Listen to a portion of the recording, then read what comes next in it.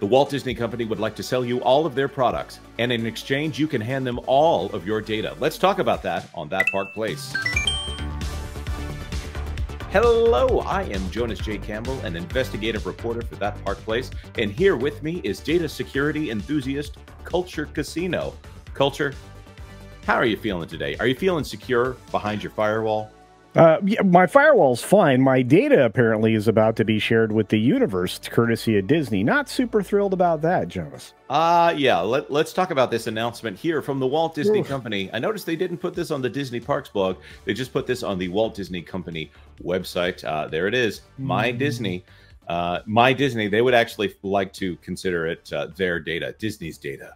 Uh, My Disney seamless login. What you need to know. Well, that's foreboding. Switching between your Disney Plus account, checking your Disney Store orders, and planning your next trip to Walt Disney World can sure seem like a lot of logging in and logging out. But now, thanks to My Disney, a unified login experience for all your Disney needs, enjoying everything that the Walt Disney Company has to offer is about to get a whole lot easier. Here's everything you need to know. What exactly is My Disney. My Disney is the name of the new capability Disney is introducing on Tuesday that gives our guests a seamless login experience by using just a single email and password across services and experiences from the Walt Disney Company. When you log in using your personal account information, you will now see the same My Disney login prompt everywhere you go, asking for the same email, email and password, creating a more seamless login experience. It seems like they just said the same thing like three times in a row there, Culture. What do you think? Yes, I think they did. I I I think that uh, they look. They're from the Department of Redundancy, redundancy, and uh, they're doing quite well. Um, I first and foremost, I I don't mind having like a BitLocker or something that would allow me to log into something with one password and using a proper authenticator, and it keeps track of all of that for me. I get it, but being able to link all of this to one place is the bigger problem. It's not just this password unification thing. Right. Well, I, I would totally agree with that. And a lot of people I, I don't know who these people are uh, personally. I don't know that I know them. They haven't revealed themselves to me. If they are that kind of person, we'll use the same email and password for six different services, uh, which of course means that if you guess one of those services, you've guessed all of those services, and their information will end up on the dark web. And and everything is essentially owned by data brokers at that point and and they will try to log into all of your services and and and all of that. So if you are the kind of person and this is this is data security advice for anyone here. If you have the same password across several different streaming services and the same email logging into them with no variation whatsoever one of those services will eventually be hacked and all of those will be forfeit or you can just rotate your passwords on a regular basis. Uh, I, I, I think it's just something that in the modern age you need to do. Uh, by the way, there are services that are offered like Dashlane. That's a paid one that I use that that keeps track of a a single master password and then logs you into individual websites. It's also a great way to keep track of websites where you also already have a password, which would be an excellent way to take advantage of different websites that use the My Disney series of logins without exposing a different problem. Let's continue on before we talk about that very, uh, very big customer acquisition mm, issue that I see here. My Disney is our latest innovation designed to make life easier for our consumers, allowing them to manage all their Disney related services with one unifi- unified account, says Ajay Arora, SVP Commerce Growth and Identity. Ooh, that's a that's a big word in there for Disney Entertainment and ESPN said. Whew, that's that's quite the title right there. 1 2 3 4 5 6 7 8 9 10 11 12 13. There's more there's more words in that than there are dwarves in Snow White. Uh, how is my Disney going to make my life easier as a Disney consumer? If you're someone that manages different passwords across various accounts with a single email address, this is great news for you because you can now use a single login and password. This move not only reflects our commitment to technological innovation, they're getting SSO now and they call that technological innovation. Okay. But also our dedication to creating hassle free, memorable experiences for our consumers. Do I need to take action with my existing accounts to make them compatible? They're going to make it as simple as possible for you. At your next login attempt on any My Disney compatible service, when you enter into a password restricted feature, Disney will ask you to update your password. From then on, the password is the only one you'll need to remember. This is going to throw people off when they don't realize that they've just changed the password for another service. That's hilarious. They're going to go to log in to on their Roku to their uh to their uh Disney Plus, Disney minus, Hulu, whatever. They're going to go to log in and they're going to be like, "Why is this not working? Password." Yeah. yeah. And then they'll go to log into the Disney shop and they'll be like, "Why is this not working?" Right. You know, every device they walk into uh, walk or they utilize unless it has linked passwords through keychain which is a apple only feature as far as i'm aware um, you're going to end up with serious problems right and yeah. we still we still haven't gotten to the big problem but but already here's another problem uh, if I use more than one email address for my Disney services, will I be able to combine them all across my Disney? Yes, Disney will just ask that you take a few extra steps. First, make sure you cancel any subscriptions associated with an email address that you don't want to use. So if you're getting a deal on any of those, that's going to go away. After that, sign up for those same subscriptions with the email you want to keep across all your Disney services, and Disney will recognize that email and ask you to log in with your My Disney password. So they're basically saying, no, no, no, we want you to use one email address so that we can identify you across all services. Again, that sounds like a positive. We're going to talk about why that might be a problem in the future, but canceling all of your subscriptions if you use multiple email addresses.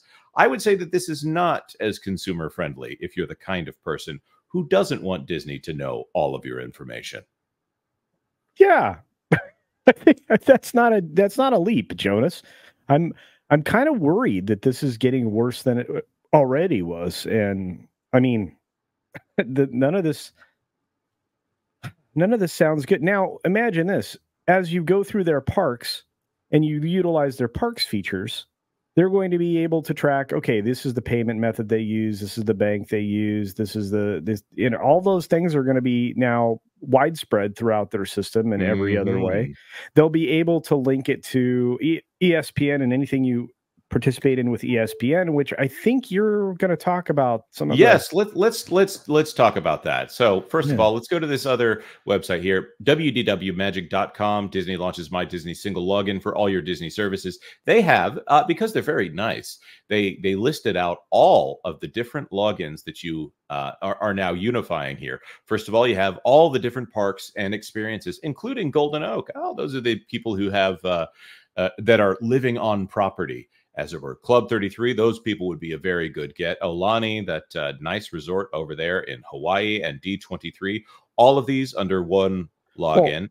and the widest spread group there outside of the pass holders is going to be the Disney Vacation Club. Uh, that that's a that's a very good point. And they'll also know how many points you have, how many points you sell. Uh, they will be able to unify all of this information. Okay, then you have Marvel. If you have comic books, they'll be able to tell which comic books you read and how long it took you to read them. Star Wars, Disney Movie Insiders, Disney on Ice, Run Disney. They might be able to see how healthy you are. Disney Institute, Disney Weddings. All right, all of these ABC affiliates in uh, different areas. Hulu, Ooh. ESPN Plus, ABC, ABC, ESPN here we go. ESPN Fantasy. Hmm. Oh. ESPN footy tips. I'm I'm I'm going to be willing to bet there's probably even more information here that can be garnered from a new ESPN service that will be oh. premiering within the near future. Uh, Culture, do you know which one I'm thinking about? I think I would wager it's something to do with things that aren't on cruise ships, Bob. Uh yes, I, I I would agree with that. oh, here's another good one: Disney Store, Disney Rewards, and Disney Gift Card. Disney Rewards is that uh, is is that not the credit card? Uh, yes, Visa line here. Yeah. So if you happen to be a person that has a Disney Chase Visa, uh, by the way, they they they get a little ding every time that you spend using your Disney Chase Visa over there at Universal Studios, and it it, it hurts their feelings, even though they're still making money off of the interest on those uh, purchases over there at their uh, distinguished competition. Th- this is the thing that I'm I'm trying to bring up here, and I'm trying to get everybody to understand. If we have a problem with services like Cambridge Analytica, which didn't do anything illegal, uh, or Facebook, which did not do anything illegal when they handed all of that data over to Cambridge Analytica, it was morally wrong, but it wasn't illegal. Uh, when we see services like Facebook and Amazon and all of this, and they have too much data. Disney is trying to do that in an even bigger way. They want to be your cable provider as well, as we're going to talk about on the on the extra magic hours streaming oh. uh, spectacular 10 p.m. on Friday. Disney is trying to know every single thing that you watch. They want to know how much you drink at the parks and when you're at Disney Springs and while you're on vacation. They want to know how much money you bet on every single game. They might even correlate that alcohol use to how much you bet on the game. They yes. want to know where you spend all your money. They want to know all of these things so that they can formulate a better picture and sell more ads, which, if you aren't aware, Disney is trying to go into ads on every single one of their entertainment products as soon as possible because they're not making any money on subscriptions right now on Disney Plus. Yeah, and they're, they're, they they've been struggling financially. A lot of people say, "No, they're making great. The revenue's up and up and up." No, well, no, not in comparison to their their expenses. And the next few quarters are going to bear that out. And you're they're so desperate. It's it's it's it's fairly clear. I anticipate that uh, the ad the ad goal they're aiming for is to try to catch up with Google when it comes to ads, ad distribution, and ad sales. Right. When when Disney views themselves as a technology company, this is the kind of thing that they're talking about. When they call themselves a media company, if they're talking about Bob Iger's salary, they compare them to Amazon and Meta yeah. and Face and Google. Sorry. Uh, if we're talking about how much money they need to make on the studio side, they conveniently compare themselves to like Warner Brothers and Paramount that are not doing as hot as uh, as as they should be doing right here. But Disney wants to be thought as a new technological innovator, and they want to be in this space so that they can be this big customer data company and connect customers and advertisers in a unified way. I'll, I'll just give the audience one example. Uh, Target was on the forefront of this kind of algorithmic big data and analysis. Target figured out a way analyzing shopping patterns to determine whether or not a woman was about to uh, have a baby. They would look at the the purchases that were being made, whether or not it was unscented lotions versus scented lotions, uh, whether or not there was a, a uh, linens being purchased or things like that. And they they got into a little bit of trouble with uh, one father in particular who uh, because they started sending out coupons to try to get people at a pivotal moment when they were making a life changing uh, decision or they were going to have a life changing moment. And these are the sticking points at which people are willing to change stores. Uh, so they sent coupons for pregnancy products to some guy's daughter, and the guy came in and chewed out a, a Target manager. What are you people trying to do? Are you trying to get my daughter to uh, want to be pregnant or whatever? Turns out that the daughter was pregnant. Um, wow and a lot of a, a, lot of female customers of target did not appreciate target targeting them with these kind of coupons this is a well documented uh, business case that is business mm. 101 you can read about it in the power of habit by the way by charles duhigg excellent case study here because they realized it was kind of creepy for Target to know all of this data about someone. They started shielding all of this by throwing in random coupons that had nothing to do with pregnancy products right next to pregnancy products. So it is in the best interest of a company like Disney to make it as easy as possible for you to have a unified single identifier so that they can identify all of your habits across all of their services as they get ready to do, to do something like Disney Prime, like Amazon Prime or something like that, because they want to know you. They want to know you at your best when you have your most money, and they want to know you at your weakest so that you might put down some big money on the cubbies here. Um, I just don't trust Disney with this kind of information. Culture, I'm preaching. Help me wrap this up. Okay, well, look, ultimately this is this is always a bad thing for consumers. Sometimes it's it's helpful for the businesses and the business case uh, I'm sure Jonas can make, but you know, in in all fairness, um, your privacy is at risk every single day in every single way in every single action that you take.